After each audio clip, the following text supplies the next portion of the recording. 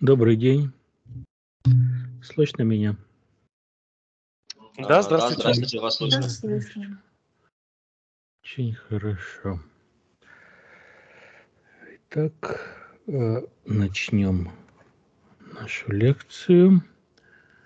Давайте вначале еще раз пройдемся, потому что у вас должно быть. По э, первой лабораторной вопросы возникли, нет? А, Нет. Можно Ага. уточнить, э, у нас же там вроде как, ну, мы пишем отчет, там как мы пишем отчет, как я понял. Вот, и нужно ли в отчет вставлять еще на- о том, как мы создавали репозиторий гид? Да. Ага, то есть там, как создавали репозиторий гид, и я там как пользовались маркдауном для того, чтобы написать отчет. Мгм. Да. Все, хорошо, спасибо. Так.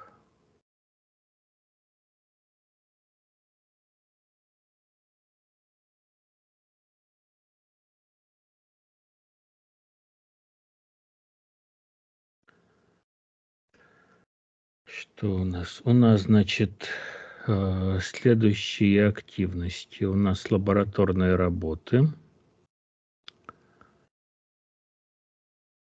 Так, доклады к лекциям.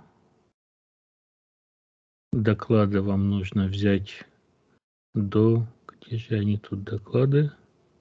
Вот они доклады. Вот темы докладов. А вам нужно взять э, до конца месяца, выбрать тему докладов. Выкладывается презентация и реферат доклада, описание. И э, у вас идут групповые проекты.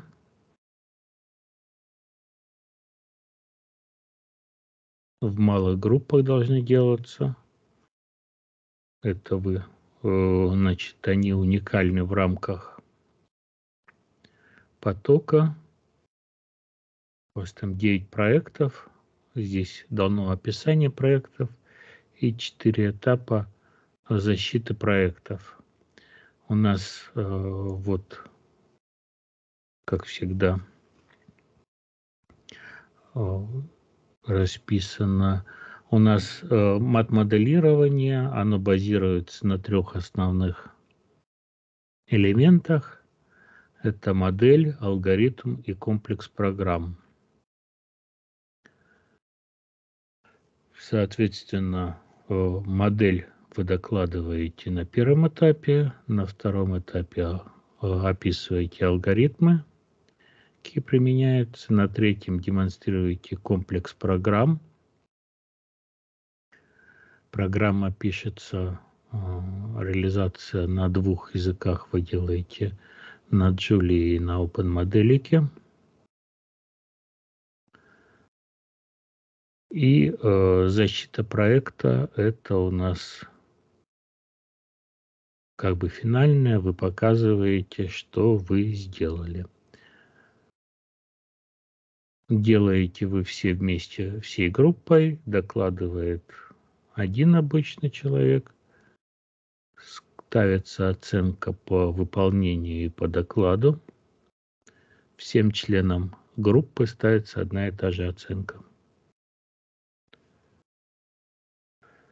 Лабораторные работы. У нас первая лабораторная работа, это чтобы вы вспомнили. А Тесты у нас в каждой лабораторной работе тоже проходим, а, чтобы вы все вспомнили, как все это делается. Естественно, видеозапись каждой лабораторной. А Остальные лабораторные работы это такой мини мини-проект, делается на двух языках, опять же, на Джули и на моделике. Идет описание того, что вы делаете. Ну, вот так же, как модель, алгоритмы, реализация. И все точно так же в лабораторной работе идет. Модель, алгоритм, реализация. И что у нас она состоит? Сама выполнение лабораторной работы в Маркдауне и в нескольких вариантах. И презентация защиты.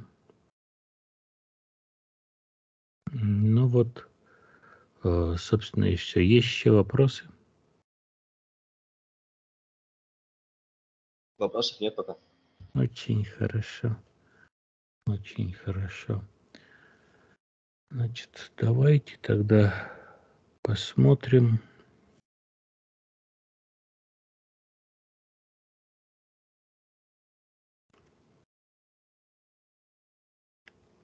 по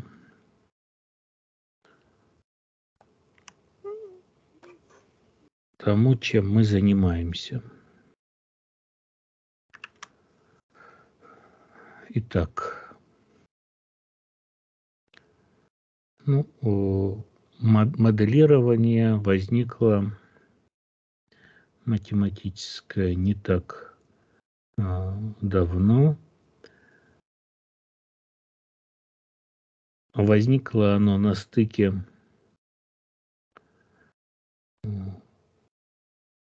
так, значит, теоретическая физика, а это не то. Буковки. Так. Чего он мне так пишет? Странно.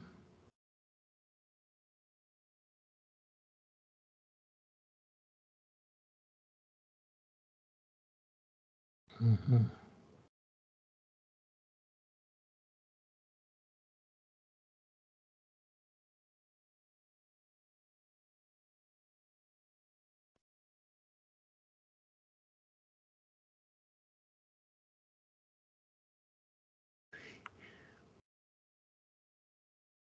Сейчас приноровлюсь.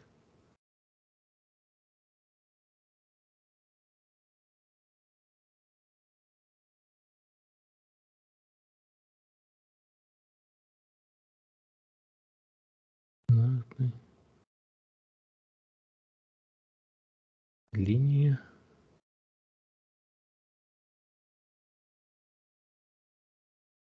Ну, вот так вот он пишет теперь. Толще. Итак, теоретическая физика.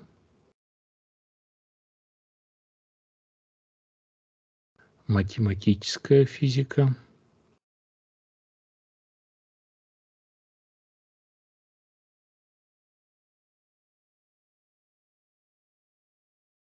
И вычислительная физика.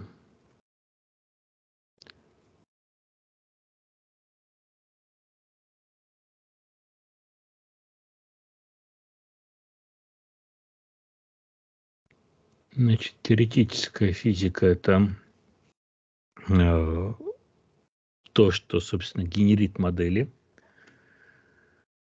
создает модели.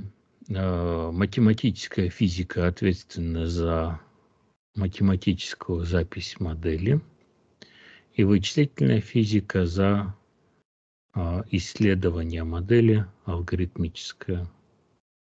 Вот так вот все они связаны друг с другом.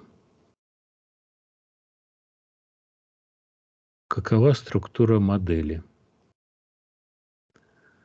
Модель состоит из э, трех частей. Вот так вот. Так вот. Э, две операциональные части –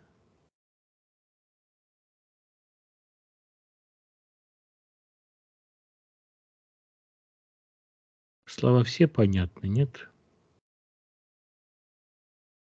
А, ну, вроде большинство, да.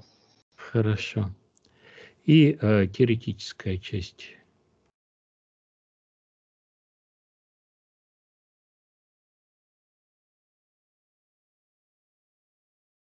Значит,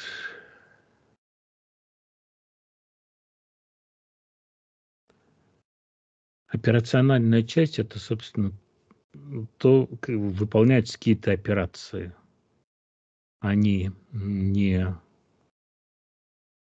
относятся конкретно к модели, но э, для того, чтобы реализовать среднюю теоретическую часть, нужно операционально и выполнить вот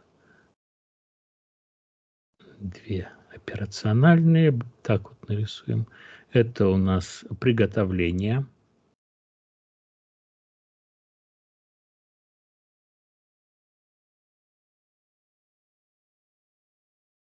А это у нас измерение.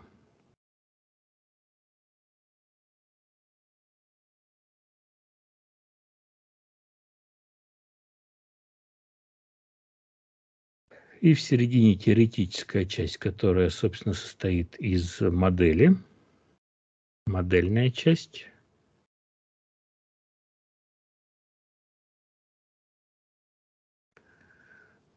Модельная часть и э, реализации.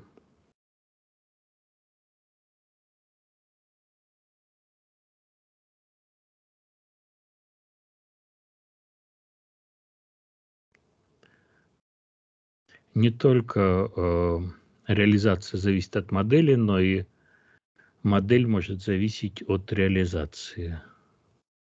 И, соответственно, вот так вот. Ну, что такое приготовление?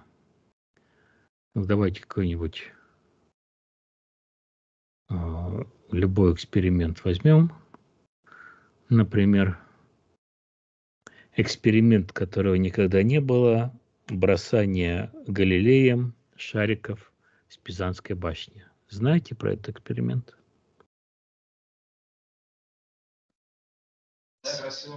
Да, слышали. Очень хорошо. А э, для чего этот эксперимент был произведен?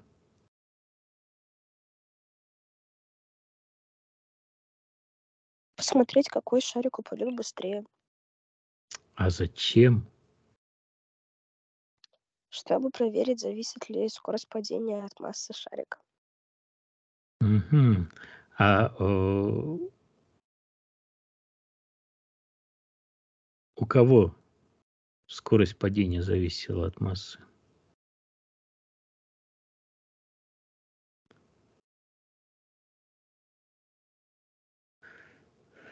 Но там вроде наоборот выяснилось, что не зависит. Да, а у кого зависит? В какой да. физике? Вы, вы же а... историю физики изучали, историю естественных наук. В школе, наверное, еще. Аристотелева физика. Помните? Аристотель был такой товарищ. А, лично у меня не было. Но Аристотеля помним. Аристотеля помните. Ну вот. Значит, вначале было э, приготовление. То есть приготовление заключалось в том, чтобы э, поднять э, шарики на Пизанскую башню. И только после этого начинается теоретическая часть, то есть только после этого формулы описывают падение шарика. То есть его вначале нужно было приготовить систему. И в конце, когда они э, прилетают к Земле, мы измеряем э, положение шарика, скорость шарика, э, массу мы уже знали, да. То есть вот это вот основные части, которые у нас есть. Эм, обычно, когда описывают какую-то теоретическую модель, то э, операциональные части опускают, поскольку они достаточно очевидны. А вот реализация у нас и модель э, обычно описывается. А, какие у нас есть реализации? У нас есть реализация. Реализация. Итак, э, ну, первая э, реализация в виде реализация э, тип модели. Тип реализация тип мат-модели.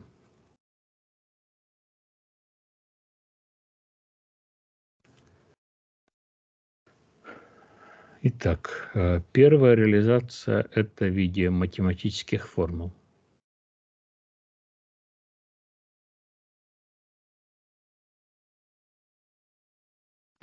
Мы описываем в модели э, эволюцию нашей системы. Ну, причем эволюция может быть не только зависящая от времени, но от любого натурального параметра. Ну, скажем, в оптике – движение луча вдоль кривой, там рассматривается не время, а длина кривой, скажем. Ну, эволюция описывается с помощью математических формул. Это у нас математическая модель. Собственно, математическая или аналитическая модель еще называют.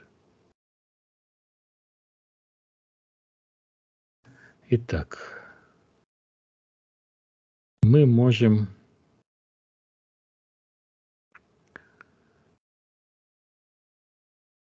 реализовать с помощью э, ну, какой-то физической, физической системы. Системы. Это натурная модель. Например,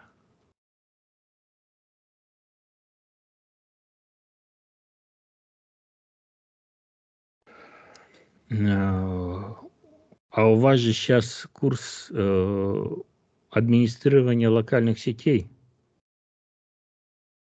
Есть такой курс у вас? Нет. Или был? Он по выбору. А, по выбору, да. И вы никто не выбрали? Просто интересно. Не выбрали, значит. Ну, хорошо. Значит, э, да. Извините, в чате написали кто-то, что Ну, выбрали. хорошо, хорошо. Я просто чат не вижу сейчас, поэтому... Э, значит, у нас есть э, курс, раньше делал, сейчас последний год на э, пакет-трейсере, а потом мы переходим на GNS3. А, так вот, GNS3, он в качестве реализации нашей модели сети использует фактические образы операционных систем, а, реальных а, маршрутизаторов и коммутаторов. То есть это у нас получается натурная модель. А вот э, когда у нас использовался пакет трейсер, мы в качестве реализации использовали алгоритм. Алгоритм. Э, и тогда это у нас какая модель, если алгоритм в качестве? Это у нас имитационная модель.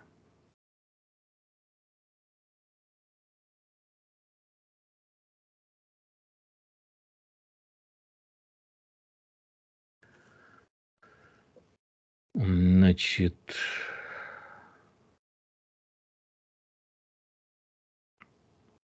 моторная, алгоритмическая, имитационная. А вот смотрите, у Анны Владиславовны, э, вот сейчас у нас идет а, курс мат-моделирования.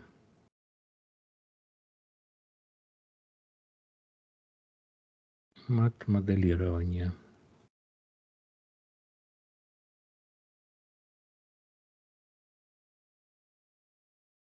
это мат-модели. Ну и вообще э, общий подход к моделированию.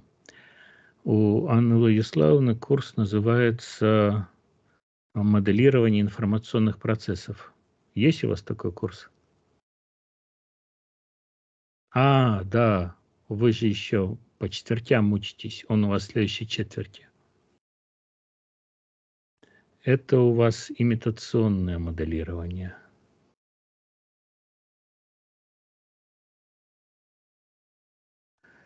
Дальше у, у, есть курс моделирования сетей. Моделирование. Это на четвертом, наверное.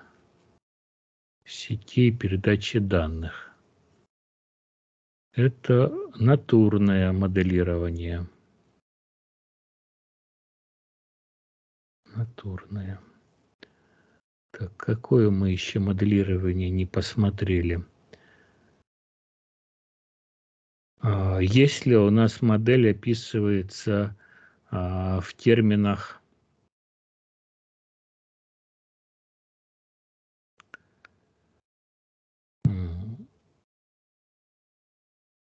даже я не знаю, как это назвать. Ну, Microsoft это назвала машинное обучение или э, статистические методы.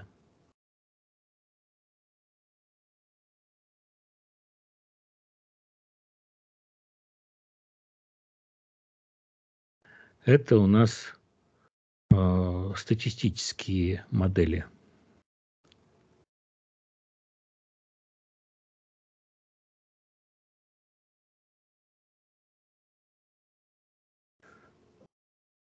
Ну вот статистические модели э, достаточно интересная область, и будет курс у Анны Владиславовны тоже. Это э, практикум по стат-моделированию –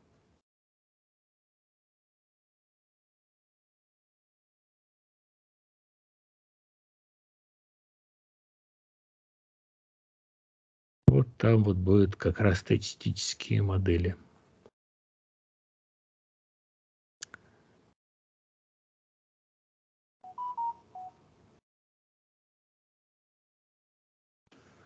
Ну вот, собственно, это основные модельные подходы.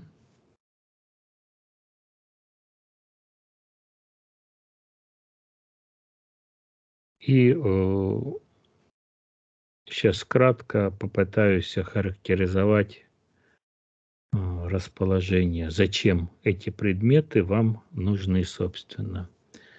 Чтобы понять, зачем они вам нужны, а, нужно понять, а, на кого вы учитесь. На кого вы учитесь? Найти специалиста. Computer science, да, так, первое computer science или IT, или computer science.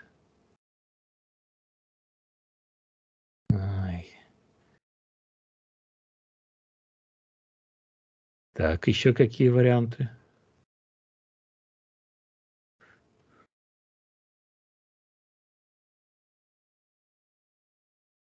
Нет других вариантов на специалиста компьютер сайенс. Правильно я понял? На, на сисадминов. На кого? На, си, на систему. На сисадминов, да, сисадмины, да. Сисадмин. Еще вариант. Нету больше вариантов.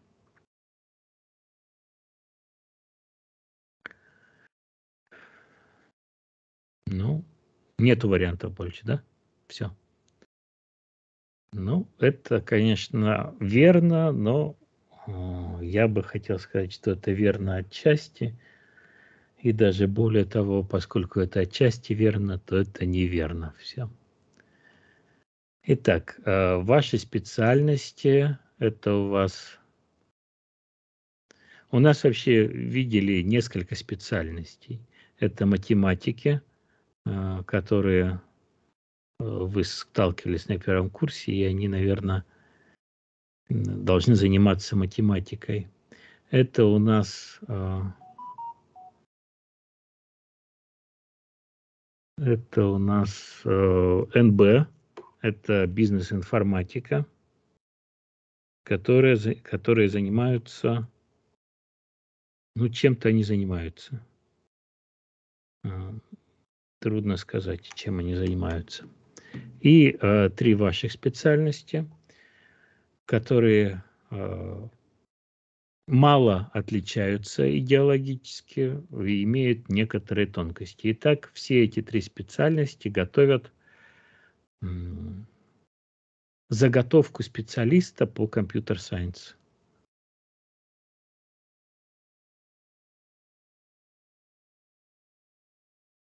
Почему-то у меня странное получилось.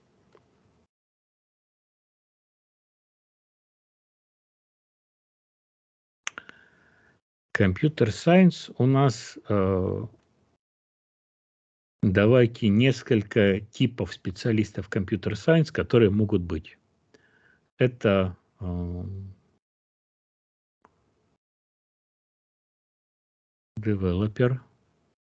это, собственно, разработчик.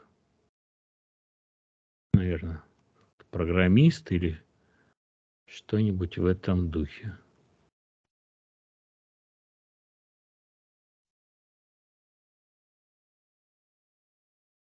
Это у нас operations. Это э, специалист поддержки, это а, сис-админ, а, сетевой админ,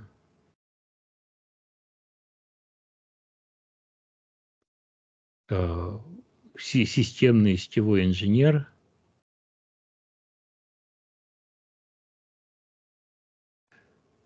и так далее. А, программист это тоже не совсем верно, потому что то, что э, воспринимается обычно программистом а, в, в обычном мировоззрении, это не университетские специальности, то есть не выпускник университета, это рабочие специальности – то есть обычный программист это как вот слесарь на заводе. Получается, что сеньор девелопер это э, слесарь шестого разряда. А вы, вас готовят э, на уровень инженеров.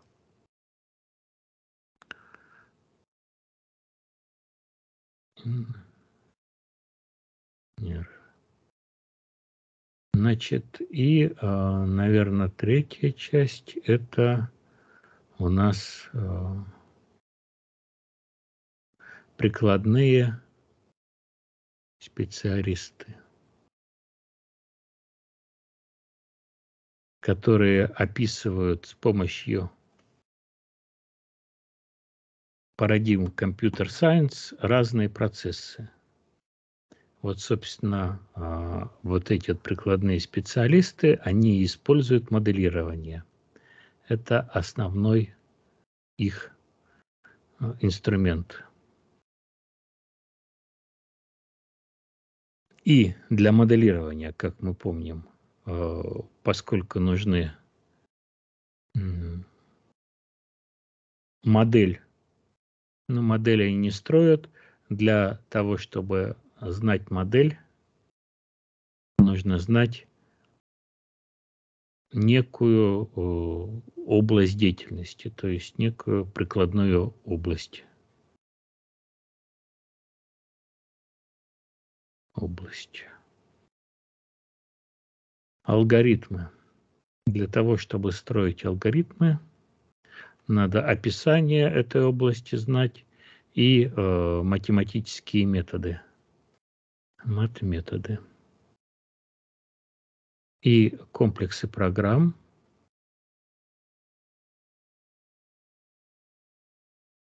Для этого нужно уметь это программировать, то есть dev, и э, организовывать э, рабочую среду то есть э, SysOps. То есть все в одном флаконе. Так вот,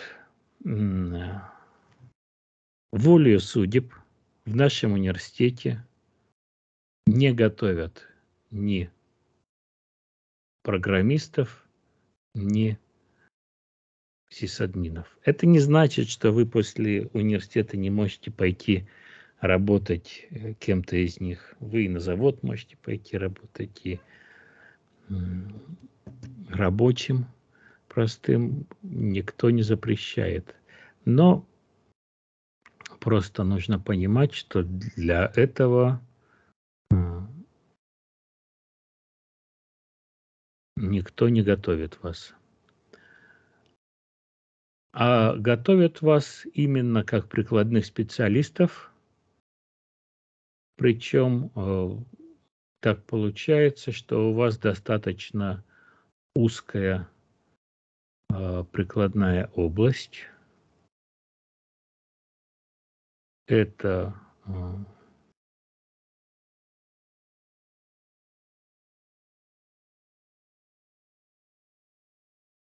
что у нас в прикладной области, или э, телекоммуникационные системы, или э, физические системы, ну, в частности. В телекоммуникационные у вас беспроводные в основном 5G и так далее, 6G. Физические это э, электродинамика –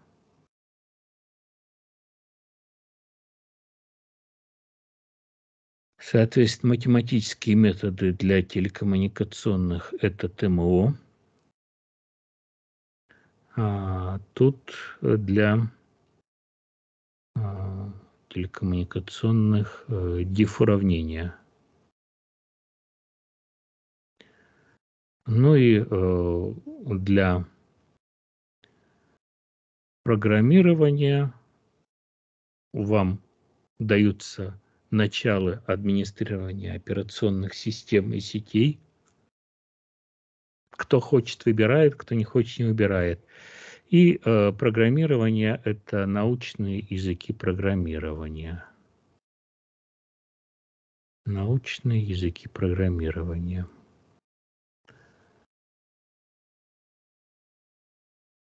Ну и поскольку всем вам дают одно и то же примерно, наверное, до конца бакалавра у вас, ну, естественно, выбирать можете свою траекторию обучения, но у вас примерно одно и то же дается.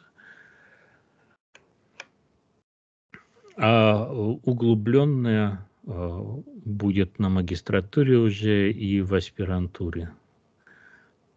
То есть реально вы можете работать, наверное, ну вот прикладной специалист реально э, может работать только после аспирантуры, наверное, где он очень хорошо изучит какие-то конкретные вещи. Ну, а вы можете спрыгнуть с поезда где-нибудь посередине и пойти работать по другим специальностям. Можно программистом пойти, можно сисадмином пойти. В принципе, поскольку все это нужно при вашей подготовке э, вы все это достаточно хорошо знаете, но э, не на уровне тех, которые готовятся в программные инженеры или э, в сетевые или системные инженеры. Ну, многие вещи просто у нас изъяты и нету. Если идти в программные инженеры, то, конечно, нужно было, например, на ВМК идти. А прикладные области какие у нас еще есть? У нас еще есть на кафедре ИТ у нас в качестве прикладной области а, могут служить ну вот статистическое моделирование – то есть машинное обучение и э, то, что называется искусственный интеллект, который никакого отношения к интеллекту не имеет, ну, такое вот название. И э, сейчас у нас открывается. Дополнительно это безопасность, то есть моделирование и управление в области информационной кибербезопасности. Но вас это все не застанет, поэтому для вас вот такие вещи. В принципе, э, если вы не собираетесь идти э, в магистратуру и в аспирантуру, то можете этим голову просто не забивать. Это как дополнительные вещи вам будут. Итак, понятно все это? Вопросы есть какие-нибудь?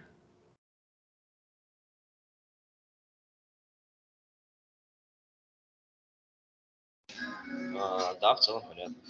Да, хорошо. А сейчас я хотел с вами поговорить по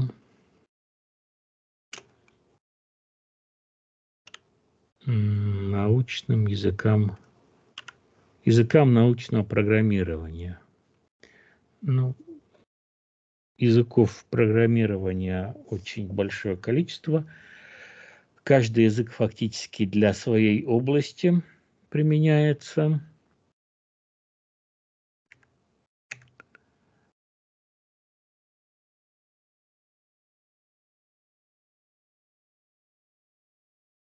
Ну, первый язык программирования, вы помните, назывался Fortran. 54 год, 57 да, 57 наверное, его Э, анонсирован был в 1957 году. 57 год это Fortran, а 58 год это второй язык программирования. Как он назывался?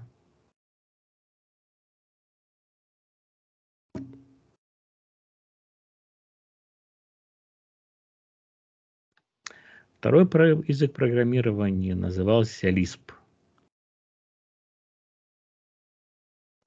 Ну, это вот языки программирования высокого уровня, если не рассматривать маш машинный код, ассемблер и так далее. Ну и с тех пор о, возникло большое количество языков программирования. Как вы помните, у нас разделяются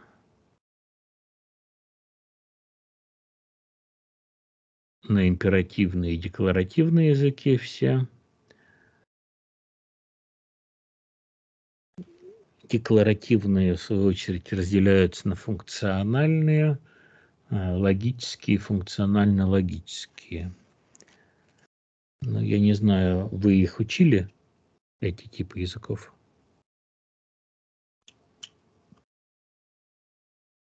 Не учили, наверное, да? Не учили.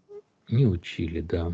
Но вот это к тому, что вы не являетесь специалистами по программной инженерии, потому что э, специалист по программной инженерии должен знать, попробовать поработать, э, ну, примерно с 20-30 программными языками. Иметь хотя бы о них представление, как они работают, как с ними работать чтобы ощущать. А, а какие языки вообще вам давали? Я так не в курсе.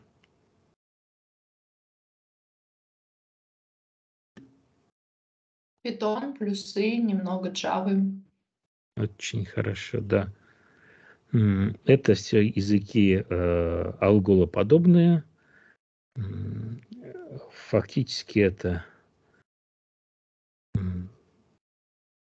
они настолько похожи, что используют одни, одну и ту же идеологию. А, все три используют идеологию объектно-ориентированного подхода. А, ну, в общем,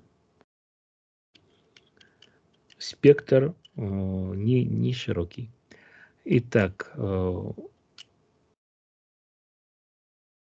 общем, сейчас языков очень много, они группируются по группам, в принципе, специалист должен знать основную часть групп языков, представлять, как они работают. Ну, а тех, кто э, начинает работать в какой-то области, ну, в частности, в области научного программирования, думает, а какой же язык лучше изучать. Ну, например, за какой буду, будет больше платить денег, какой мне больше понравится, какой язык использовать при написании моего научного проекта, например. Можно ли какой-то старый язык оставить или обязательно учить новый язык.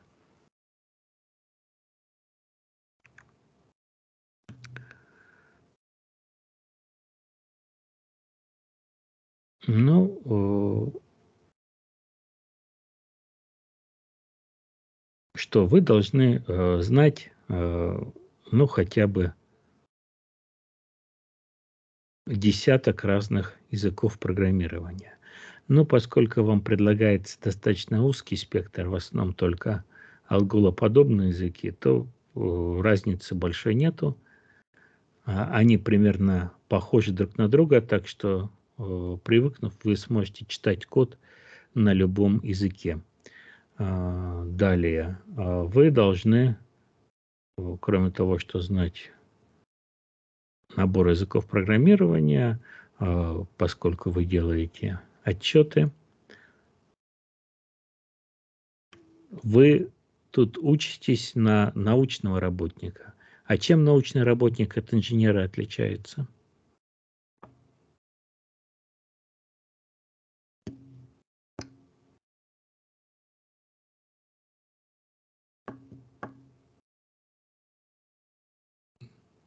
Не думали над этим?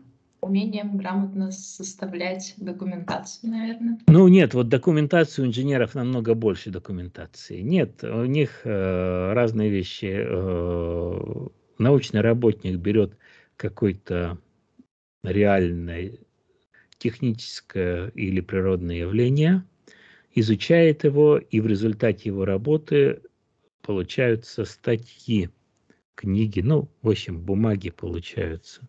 Это результат работы научного работника. Инженер берет статьи, бумаги, книги, а, читает их, и в результате его получается какой-то а, технический объект.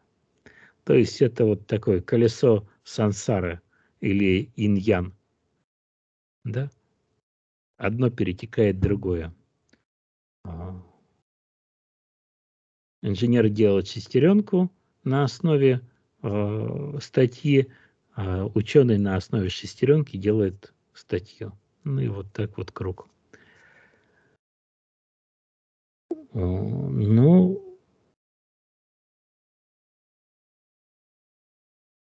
и для того, чтобы описывать результаты работы, нужно владеть чем описывать.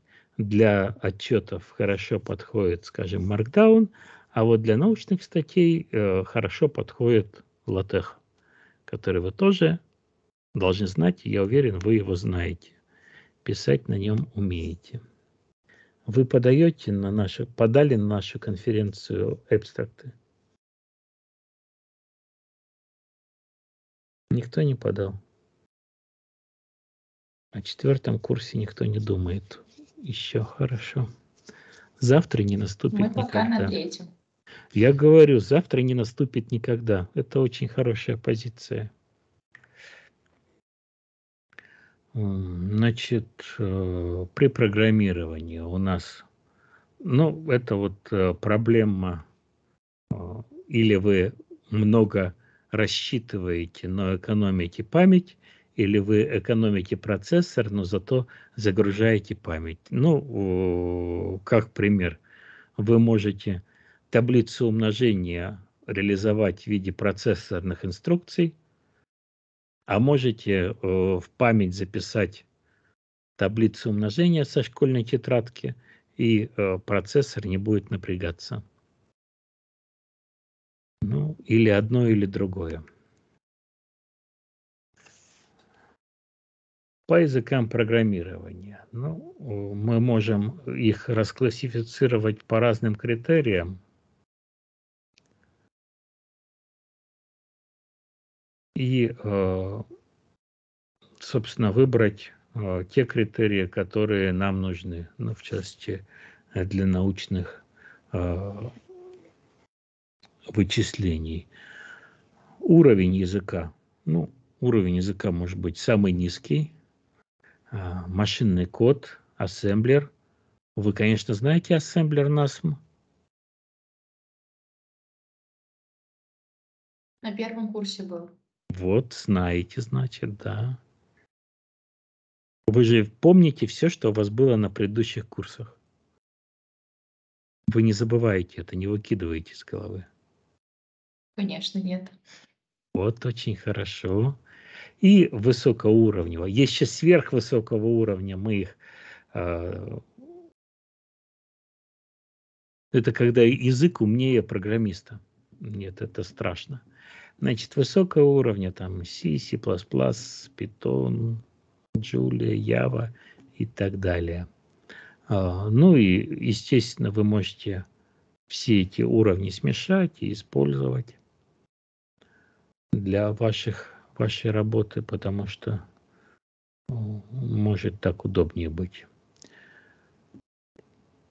От уровня зависит переносимость языка программирования. Ну, скажем, ассемблер. Машинный код вообще завязан э, на конкретную машину. Ассемблер, он более высокого уровня, чем машинный код. Он э, привязан к архитектуре конкретной. А языки высокого уровня, они не привязаны к этому, э, и они могут считаться переносимыми.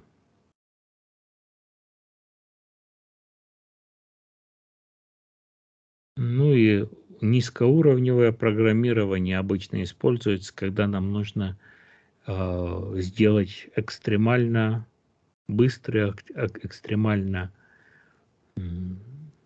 производительные места в программе. Область применения. Ну, два, да?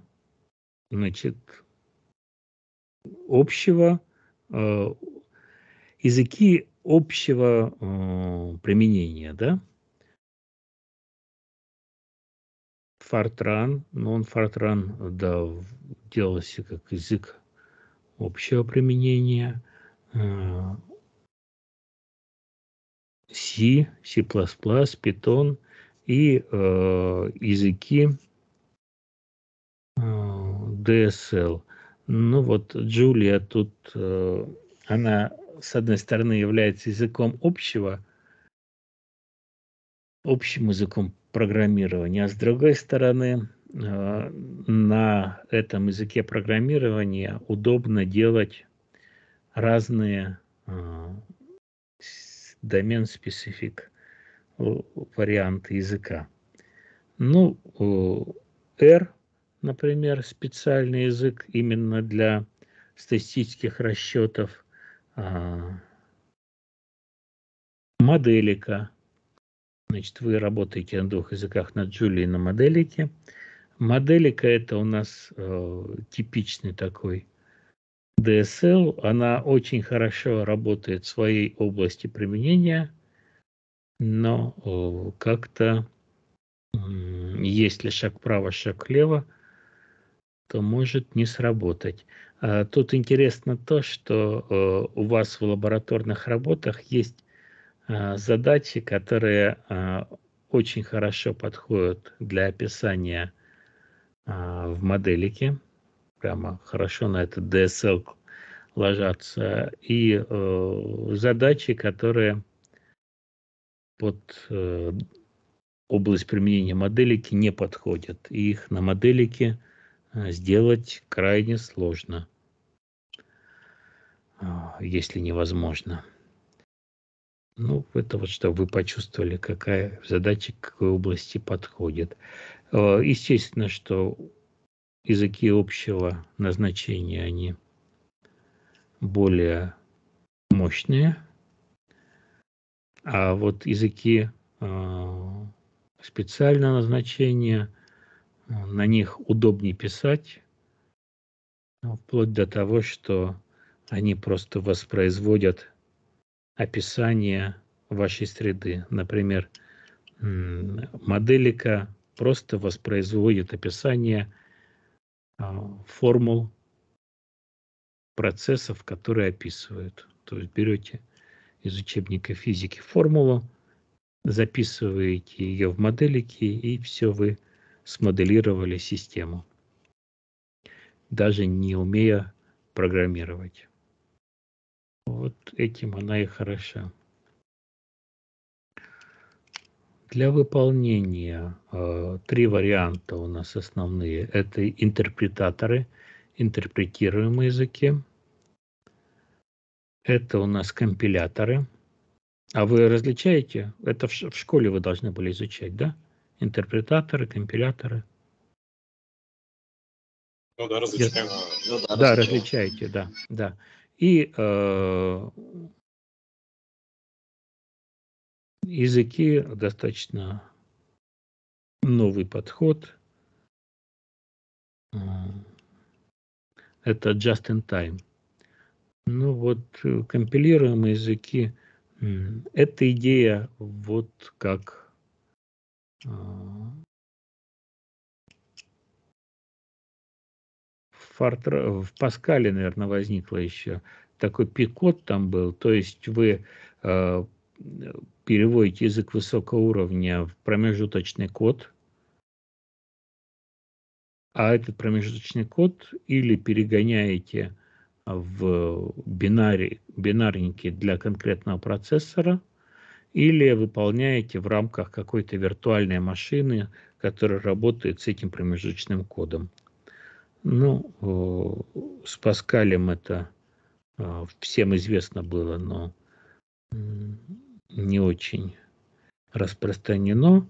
А широко распространено стало в случае Явы, там э, виртуальная машина явовская, и многие языки программирования, они в качестве промежуточного кода используют явовский язык, ну, соответственно, получают just-in-time компиляцию из Явы. Ну, идеология just-in-time такая, что у вас есть код, который вы запускаете. При первом проходе генерятся э, бинарники, а потом они используются. Ну вот, скажем, в Яве происходит разогрев системы, разогрев виртуальной машины, и вы, если запускаете Яву на, се- на сервере, где она долго крутится, то вы естественным образом получаете бонусы от этого just-in-time. А если вы запускаете на клиенте, где э, иногда запускаете систему, потом выключаете приложение, то каждый раз будет заново компилиться. Тогда лучше интерпретируемые языки. То есть just-in-time нужна, если у вас долгое или некоторое время выполняется система. А, Интерпретируемые языки работать можно с ними с помощью так называемого репла, а, то есть петля а, прочел, выполнил, выдал результат. Прочел, выполнил, выдал результат. Ну или скриптовый файл, где вы запускаете скриптовый файл, он выполняется. Ну и э, для DSL очень распространено, э, поскольку они для того, чтобы облегчить жизнь программисту, интерпретируемость.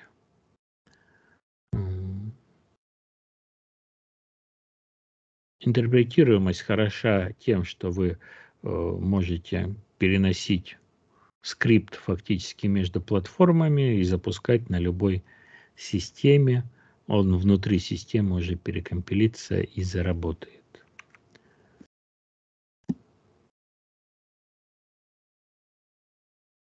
Значит, выполнение. У нас часть языков э, жестко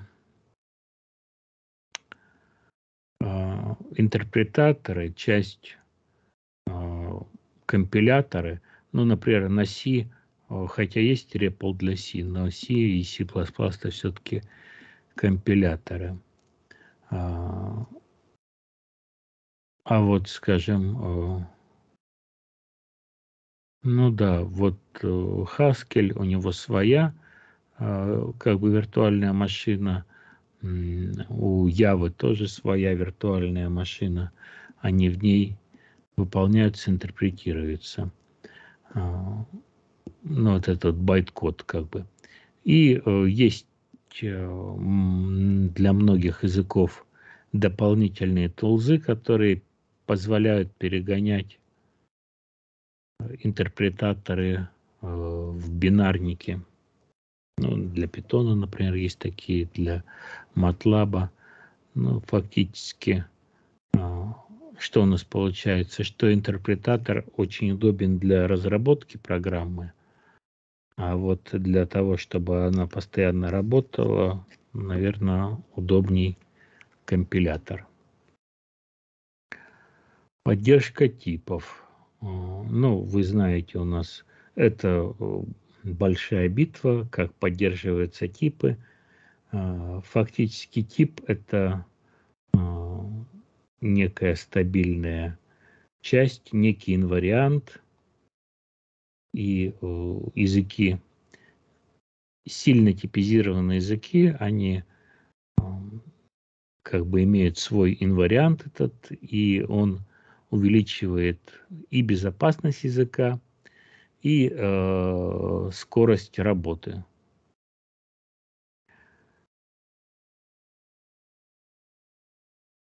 А языки со слабыми типами э, упрощают жизнь программисту, но опять же резко падает и безопасность, и скорость работы э, с языками. Ну и когда вы смотрите, какой язык использовать, чаще всего вы смотрите разные топ-10 языков. Ну, если вы посмотрите, то у нас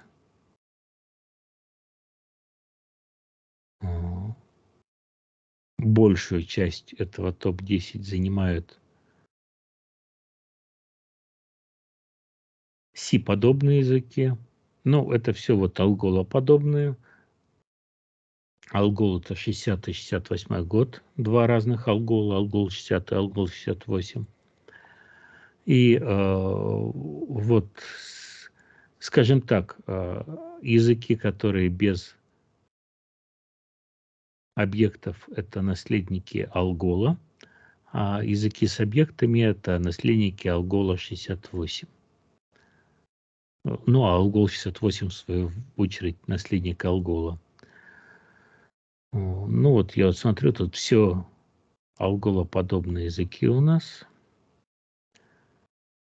Ну и, в принципе, наверное, там в основном языки, которые наиболее востребованы индустрией. То есть это не языки для написания научных программ, а те языки, на которых пишется индустриальный какой-то код. Ну, в Яву, например, вложили столько денег, в свое время считалось, что Ява это панацея и самый лучший язык, и вообще серебряная пуля. А, но нет, она не оказалась серебряной пулей, но зато в нее вложили столько много денег, что сейчас это один из основных языков для enterprise разработки.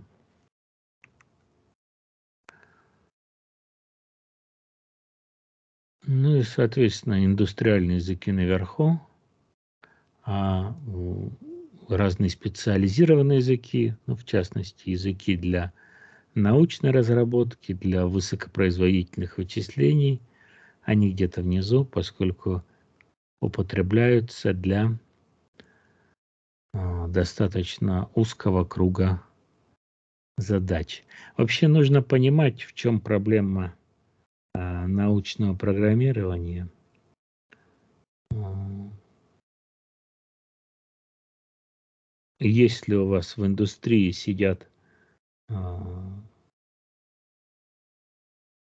люди, рабочие, специализирующие именно на программировании на определенном языке, поддерживающие индустриальный подход, то э, научные программы пишутся зачастую людьми, которые не знают индустриальный подход, потому что у них для этого нет времени. Э, пишутся программы так, что потом приходится доделывать, переделывать, документации нету. Кто разберется, тот дальше и поддерживает. При этом научные программы живут э, многие десятилетия.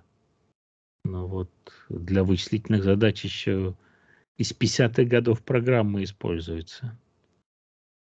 Ну, поэтому, например, такая вещь, как э, поддержка наследуемого кода для языков научного программирования достаточно важна. То, чего нету в языках других. Например, Ruby, он э, вообще считает, что не нужно поддерживать наследование, наследование язык, э, модели языка, legacy поддерживать не надо. И там программа, написанная на одной версии, уже перестает работать на другой.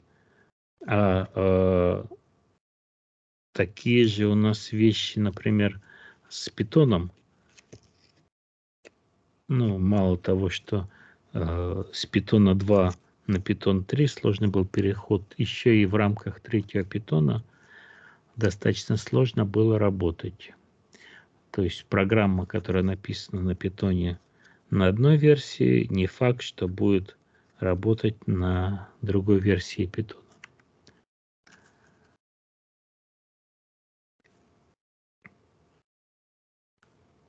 Ну и э, идеология мультипрограммирования, когда у нас для разных э, частей используются разные программы, ну, в том числе и когда у нас нету для а, на выбранном языке программирования реализации для чего-то.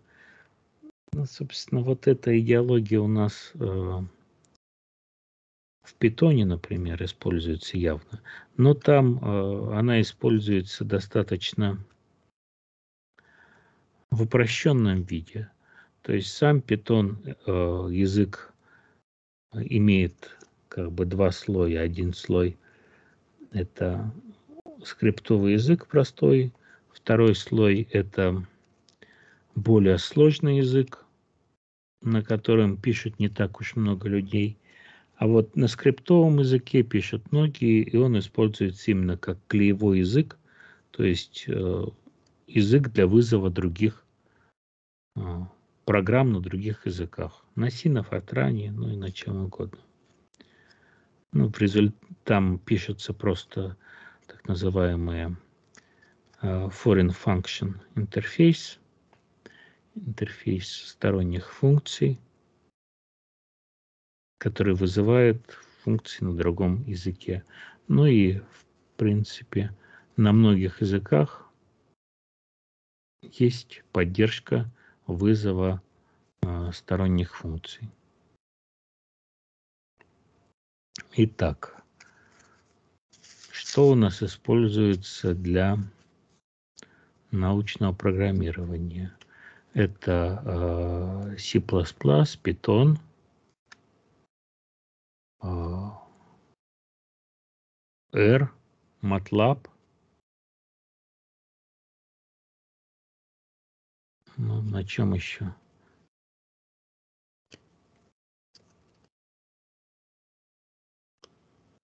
Ну, наверное, есть э, специальные языки для, э, скажем, имитационного моделирования, GPSS, NS2, NS3. Ну, вот это вот такие вот специальные вещи.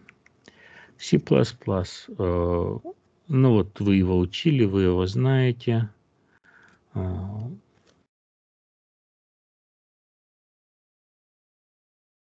он похож на Си. Ну, а Си-то уж э, вы, конечно, знаете. Но он только похож на Си. А на самом деле это идеологически совершенно другой язык. Основная его парадигма – это а, универсальный язык, язык, делающий все. До этого был такой язык, назывался PL1. А, ну, он и сейчас есть, почему был, и сейчас есть. Это тоже язык, делающий все.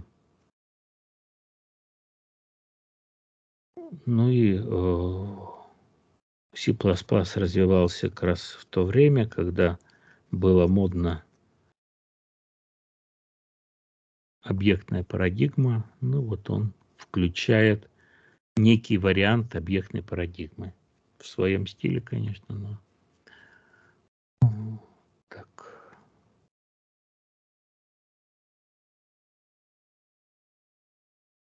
Но очень большой и сложный язык. А, изучить его все весь достаточно а, сложно, и а, он очень многословный. Питон, питон, питон у нас это клеевой язык. Язык для вызова функций на другом языке. Ну и фактически сейчас это вторая и третья версия. Ну, вторая убита практически, она не используется, хотя кода на вторую еще осталось очень много как я говорил, он э, из двух частей состоит, из двух слоев. Как бы, э, простой уровень и сложный уровень. Вообще этот язык создавался для обучения школьников. Ну и, собственно, он и сейчас во Франции используется для обучения школьников. Поэтому вот тот уровень, который был первоначальный в языке, который простой, он и воспринимается просто – а тот уровень, который более глубокий, он э, совсем непростой.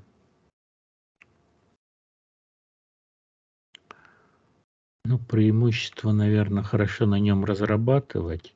Это REPL, у него существует и динамические типирования, э, очень много библиотек, которые с ним работают, и чисто под него написаны, и он а, вызывает, ну, это, наверное, именно из-за его популярности и простоты верхнего уровня. А, фактически он в программировании заменил а, Perl. А с Perl случилась такая неприятная вещь, что он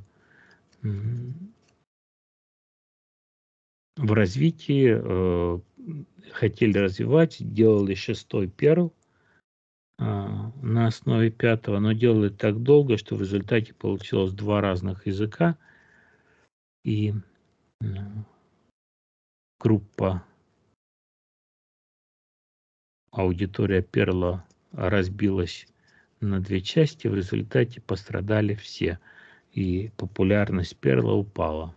Ну а до питона именно Perl служил клеевым языком.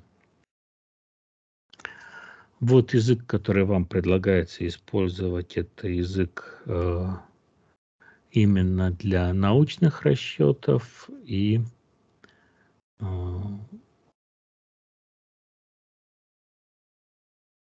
для э, высокопроизводительных вычислений. Это язык вообще а, внутренне представляет из себя Lisp, но снаружи представлен как язык для вычислений. То есть это язык высокого уровня, а язык общего назначения, но в нем очень много структур, э, очень много э, для именно научных и вычислительных задач вещей. То есть он, с одной стороны, и язык общего назначения, и с другой стороны, специфичный язык именно для научных расчетов. Ну и кроме того, он поддерживает а, из-за того, что это Lisp, фактически он поддерживает парадигму метапрограммирования, и в рамках этой парадигмы очень удобно на нем писать другие DSL. R язык вам читали R, да? Нет? Не Ну, больше. помню, такого, значит, не было. Не было. Иван Сергеевич должен был давать вам. А может быть, это спецкурс, и не все он читает, наверное. Это язык, У нас точно не было. ага, это язык для научных вычис- для статистических вычислений. Это язык базируется на языке S. S вообще коммер- ком- коммерческий такой э, э, достаточно дорогой язык. Э, Вообще э, два языка для статистических расчетов основных это S и э, SPSS. Достаточно похожи они. S, э, ну, в общем, R это, э, поскольку он еще и свободный, куча библиотек, он основной язык для статистических вычислений. Поскольку Python тоже поддерживает статистические вычисления, то они борются друг с другом. А, Julia тоже поддерживает статистические вычисления, но и не только, и другие.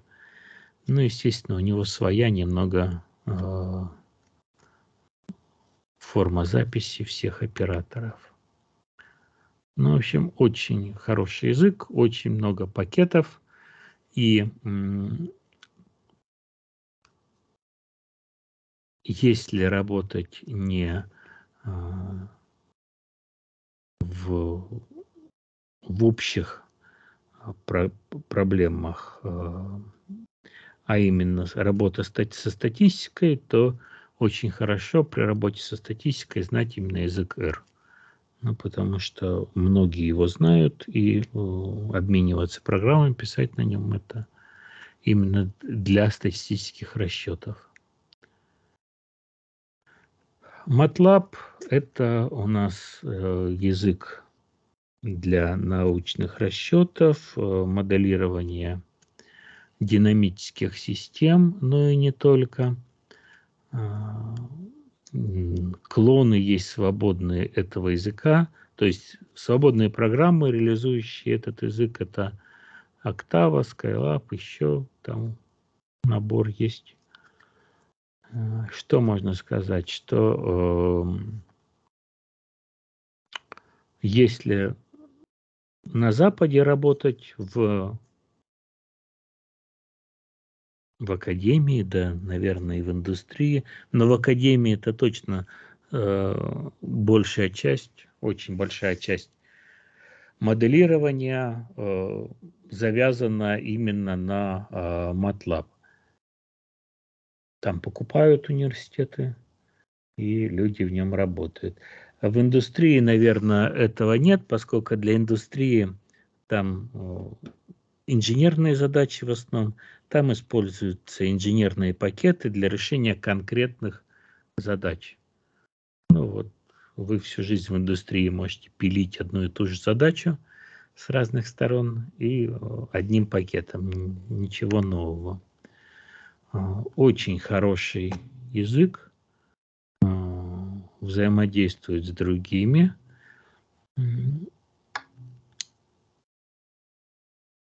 Ну, наверное, да. Основной а, недостаток э, это очень дорогой.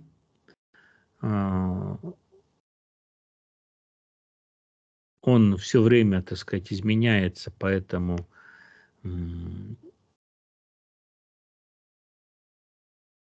как бы варьируется сам язык, и диалекты языка возникают.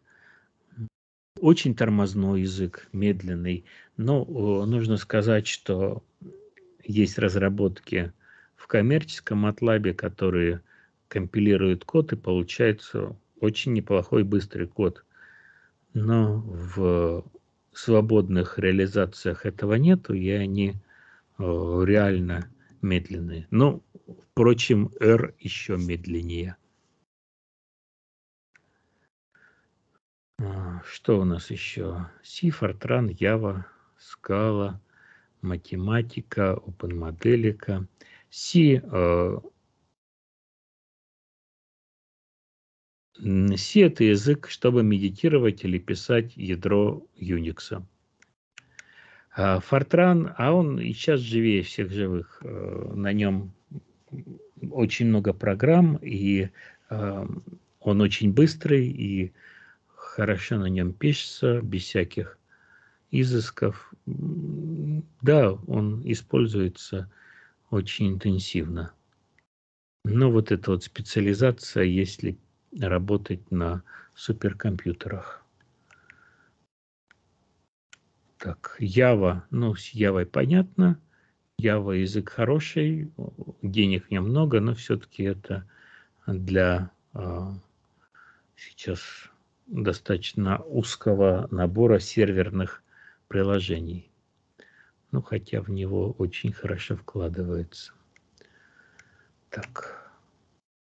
Ну и э, языков много, любой используйте, и будет радость. Ну вот, Go можно выделить очень хороший язык. Основная его идея то, что программисты, они, как я уже говорил, это э, рабочие, они без образования. А нужно, чтобы они писали код э, одинаковой паршивости. Понятно, что они очень хороший код не написывают, но вот чтобы у него был базис, ху- хуже которого он не опускался. И Go позволяет писать такой код. Ну и кроме того, поскольку по идеологии он выехал из плана 9, то он хорошо работает а, с кучей мелких процессов, легкие процессы в нем. Ну и результат какой? Мы э, будем использовать Джулию и э, OpenModelic так, а для наших лабораторных работ. Все, пожалуй, на сегодня, наверное, завершили. Есть ли вопросы? Пролог кто-то знает? Хорошо.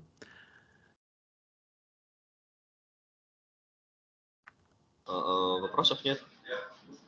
Да, очень хорошо. До свидания. Всё, Спасибо большое. До свидания. До свидания. Спасибо. До свидания. До свидания. До свидания.